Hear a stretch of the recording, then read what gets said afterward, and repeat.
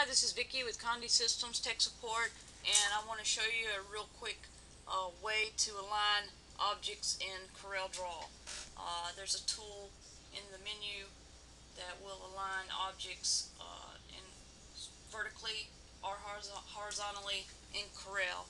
And uh, I want to show you real quickly how to do that. I've already drawn three objects on the page, and uh, I'm just going to click up here where it says arrange and we're going to use this tool here.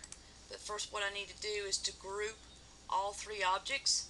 So I'm going to do a control A which will grab all three objects which is what I want. Control A is a hotkey which would work to take and grab everything on the page.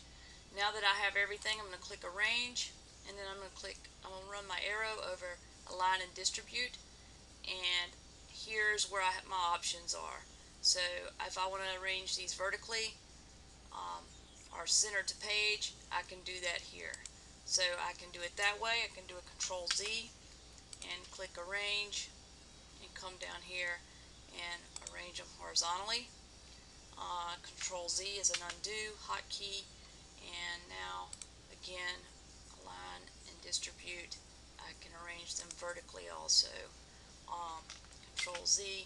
So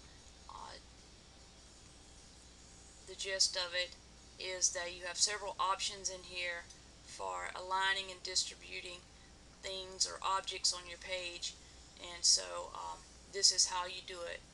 Again my name is Vicky. I'm with Condé Systems. If you have any questions about how to use this tool feel free to call. Thank you for your time.